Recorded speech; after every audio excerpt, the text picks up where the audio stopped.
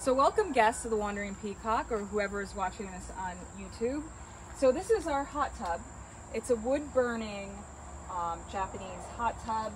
It's all cedar. So bear in mind, the water does get um, like a kind of brownish color.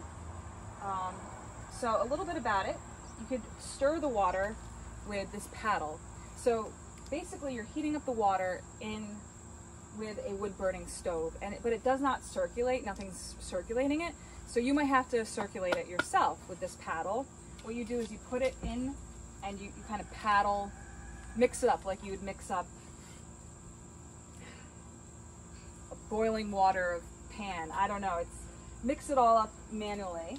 Um, we do have a cheat system so I leave this here and this is uh, a pump and what you want to do is you attach the pump to this outlet here. And it pumps for you, so you don't have to do that. So when um, you're, you're done with the temperature you want, you can check the temperature by opening it and just checking it here. There's also um, a thermometer inside here. You just put it in, let it go down a little bit and check the temperature. You take this thing off and when you're done, also put this back on uh, with, and you put it in the child's proof snaps right here. So when you're done, you, you really should do this because animals and children can come up here and drown potentially. And they're all around here. So you snap it here, here, and two other parts to remove the cover. When you remove the cover, it's usually a two-person job, but you can finagle it with one person. Just bring the cover here. That's a good spot for it, or in the back.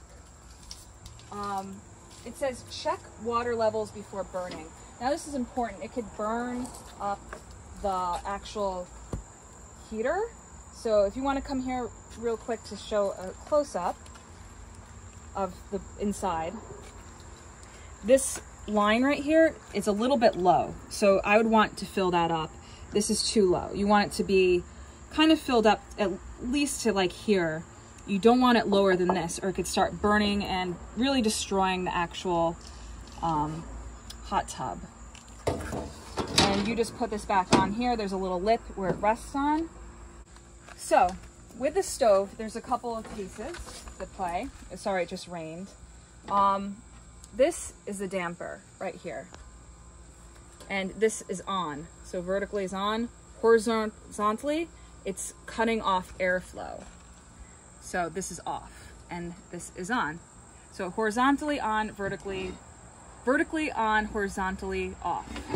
And you make your fire in the stove right here.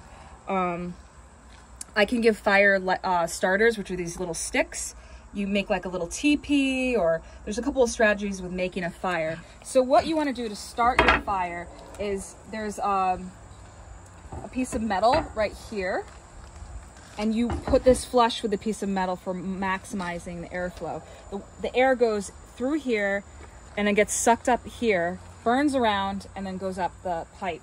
And this is just the maximum way. If you leave this all the way open, it's actually not doing a great circulation. So you, this is max. Don't do it this way. That's going to turn off your fire. We actually had a guest do that and they lost their fire. You want it this way. When you're done or you're getting it's getting too hot, you can go turn it off like this and put that vertical. Um, but this right here is, is maximum. So again, this might get too hot and for those kind of situations, you have to fill up the, the tub. And unfortunately, it's hose water, so it is cold. Uh, and it's fortunate, I guess, if it's too hot, but if it's, it won't heat, it's not hot water, so you can't fill it up with warm water, it's only cold water. So we want you, what you want to do is put it in here and bring down the hose and I'll show you where to turn on the hose. So if you can follow me.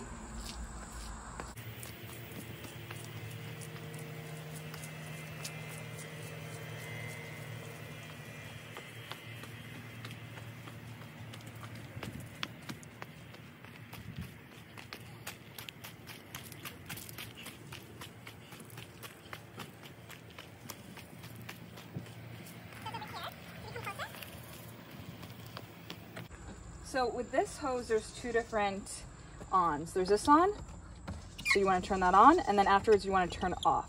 Off. So it's um Lefty loosey, lefty loosey, righty tighty. righty tighty, and then here's the second on. So again, it's kind of the same thing. Vertical is on, and horizontal is off. So this is the, the what how we water the chickens. So that's off right now, and this is the hot tub one.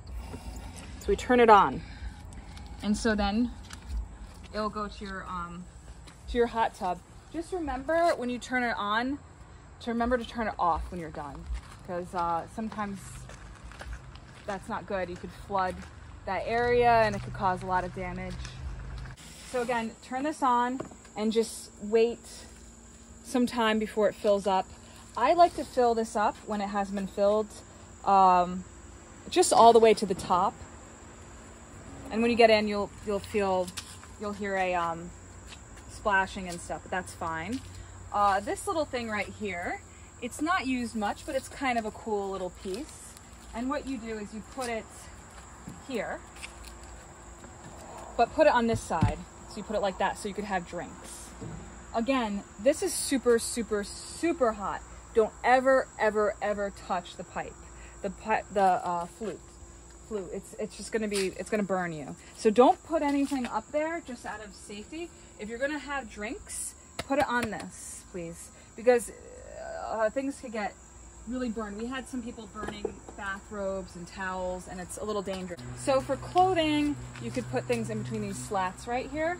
Uh, in the future, I will put hooks. I haven't gotten there yet, so by the time you're watching this video, it, the setup might have changed. I'm constantly improving the place, so if it's a little bit different, bear with me. Usually I make things a little bit better.